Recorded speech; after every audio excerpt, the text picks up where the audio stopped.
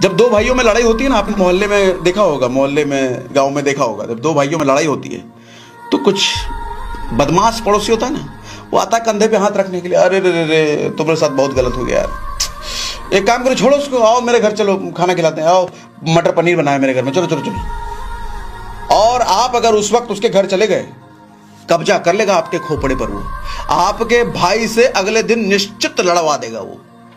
क्योंकि उसका इंटेंशन ही वो कमज़ोर है ना वो।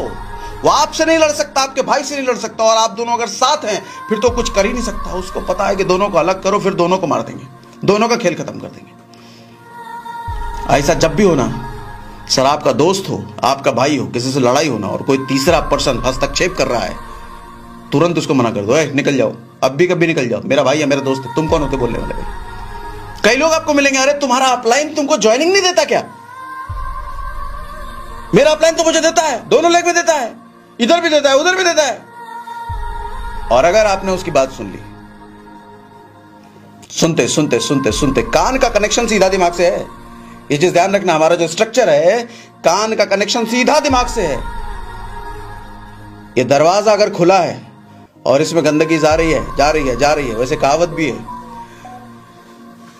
घड़े में रखे पानी से अगर बदबू आ रही है ना इसका मतलब किसी ने उसमें गंदगी डाली है। ये घड़ा है हमारा। इसमें जितनी गंदगी जाती रहेगी जाती रहेगी जाती रहेगी यहाँ से बदबू आएगा। हमारे ज़ुबान हमारे शब्दों से बदबू आएगा हमारे कैरेक्टर से बदबू आएगा हमारे बिहेवियर से बदबू आएगा। अगर गंदगी को अंदर जाने दिया तो। ऐसे मा, मामले पर मा, मामले पर ना सुनना ही नहीं है। कोई अगर कह रहा नहीं हमारा तो ये तुम्हारी कंपनी में थाईलैंड एक लाख एक लाख रुपया है। मेरी कंपनी में तो पचास भी है। उसको उसी वक्त बोलो, भैया, जूता खोल के मारेंगे, चुपचाप निकल जाओ यहाँ से। चुपचाप निकल जाओ यहाँ से। तुम्हारे में पचास के पाँच पे होगा। तुम्हारी कंपनी है ही चिंदी चो निकला यहाँ से।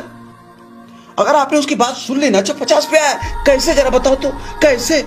और आप सुनने लग गए, वो बताने लग गया, आप सुनने लग गए, वो बताने लग गया। गंदगी जा रही जा रही जा रही धीरे धीरे कब्जा हो जाएगा। आपको अपने अपलाइन से अलग कर सकता है, आपको अपनी कंपनी से अलग कर सकता है, आपको अपने प्रोडक्ट से अलग कर सकता है, आपको अपने परिवार से अलग कर सकता है। और जिस मोमेंट उसने अलग कर दिया, उसकी जीत हो गई और आप हार गए। मज़बूत आदमी की मजबूती इसी में है कि वो अपनों से साथ ना छूटे उसका। जिस दिन अपनों से साथ छोड़ गया, वो कोई भी कोई भी कब्जा कर लेगा उस पर